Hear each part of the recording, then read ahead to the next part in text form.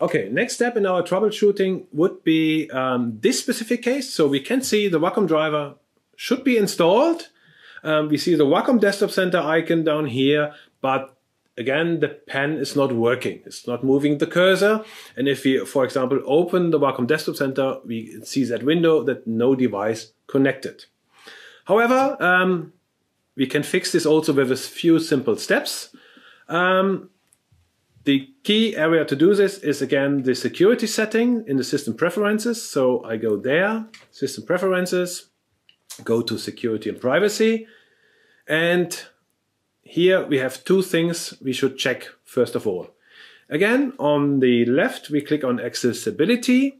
And usually if the driver installation was successful, there should be the Wacom IO manager in here.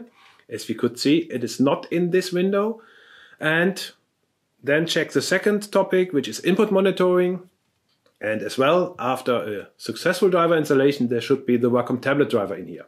None of both are in these windows, either in input monitoring nor in accessibility. And to make the driver work, we just have to do, again, one step. We don't have to enter anything in accessibility, so we skip that one. We go again to input monitoring and enter the Wacom tablet driver manually. This is quite easy. First of all, we click on the lock to allow us to make changes, enter my password, credentials, and now clicking on the plus icon here to manually add the Wacom tablet driver to the input monitoring window. So add an application, click here. I am now in my applications folder and in the applications folder, I scroll down to Wacom Tablet.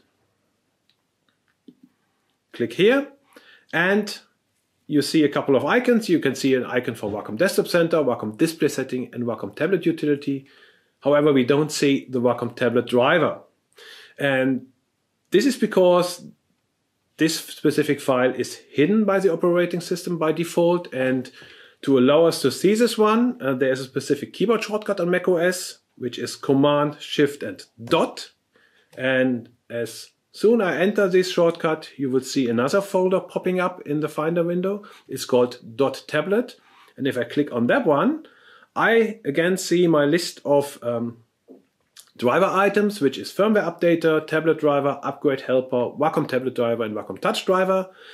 The one we need here for our Intuos tablet is the Wacom tablet driver. If you, for example, have an a tablet which comes with multi-touch functionality like our Cintiq Pro models or the Intuos Pro. You for this the Wacom Touch driver might be relevant, but for the Intuos tablet and the pen only, we choose Wacom tablet driver. Okay, we mark this one and click on open. And now we get a, a message from the operating system we can click on later here as well. And what we see now in our privacy tab, input monitoring, we have a Wacom tablet driver entry, which is uh, check marked uh, with a blue box here. So everything should work. However, we are still missing the entry in accessibility. This doesn't matter. This IO manager entry will be added automatically after we have restarted our Macintosh.